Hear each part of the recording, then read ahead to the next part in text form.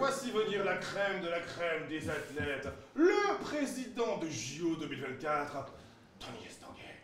Bonsoir. Bonsoir. Comment ça va? Mais pas mal, c'est- j'adore cette drag room là. C'est sympa, hein? Ah ouais de drag room, on va pas se mentir, c'est un bar, mais ça me correspond bien. D'accord. Je sais pas, tu bois quoi Mais justement, justement c'est un bar, mais on ne boit rien. Oui, alors, pas à la caméra. Mais Ah, ok. Après, Ah, pas, je super. te donnerai un petit bracelet passe VIP, tu viendras. Merci. Comment ça va? Parce que là, dis-moi, un petit peu agité ces temps-ci avec ça. euh, les JO qui arrivent. euh, Comment ça se prépare? Mais bien, bien, bien, bien. Un peu de boulot, pour être tout à fait honnête. Euh, La pression monte. euh, on est à 320 et quelques jours là, donc euh, moins d'un an. Dernière ligne droite. Et ma petite question par rapport aux JO, parce qu'on parle beaucoup d'inclusivité dans le sport, on, parle, on médiatise de plus en plus les coming out de sportifs. Ouais.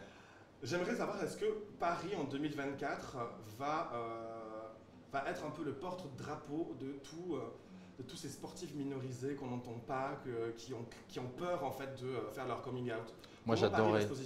Non, moi j'adorerais, j'adorerais qu'on soit ces jeux euh, ouverts. C'est notre slogan depuis le début. Ouvrons grand les jeux, ouvrons-les à toutes les différences, toutes les couleurs de peau, de toutes les nationalités. Pour moi, les jeux, c'est le plus bel événement. C'est tous les pays.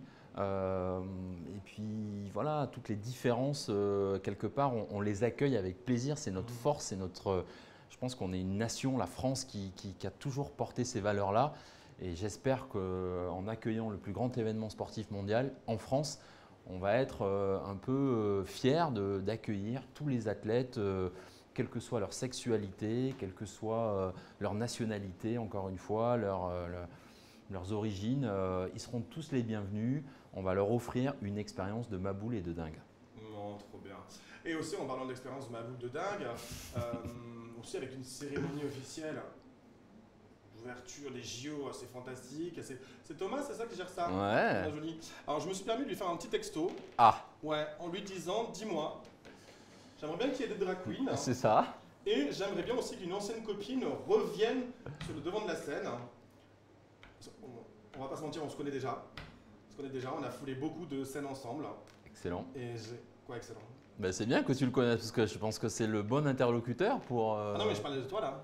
Ah Tu te rappelles pas quand on était ensemble sur scène et tout Ah, Je- euh, non Ah bon?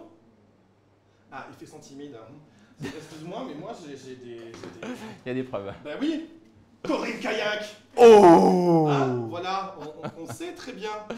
Hein Alors j'avais un petit peu oublié. Des fois j'ai la mémoire qui flanche, désolé. T'avais un peu oublié. Elle est belle celle-là. Ah, mais je pense Ah ouais, vous m'avez pas effort ra- sur la perruque. Vous m'avez pas raté là. assez dingue.